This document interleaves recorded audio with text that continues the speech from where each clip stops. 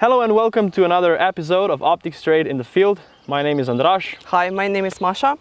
Today we're going to do a comparison of different thermal monoculars and clip-ons. So Andras, where are we? So we're in a standard location where we always do this type of videos so that all of the videos of this type can be the same. And uh, we're a couple of kilometers from our headquarters um, on a meadow surrounded by a forest. Why have you chosen this location? So we chose this location today because we have sunny weather, the uh, grass is dry, and uh, in this type of conditions the thermal differences can be seen the best. Is image quality the only important factor?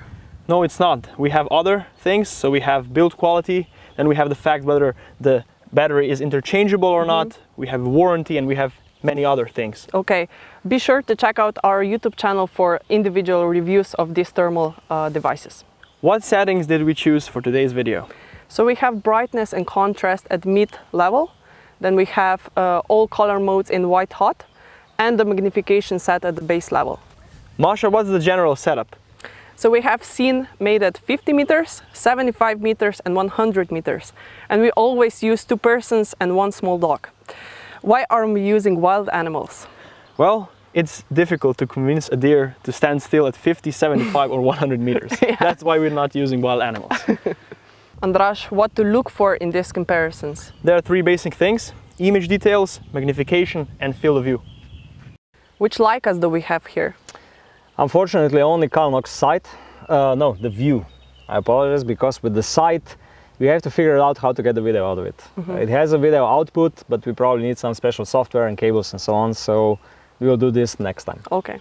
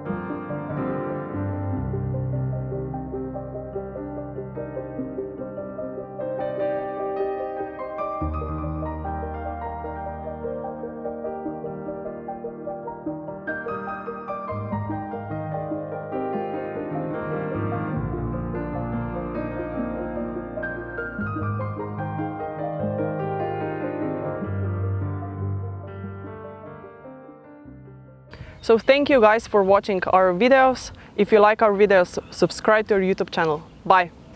Take care.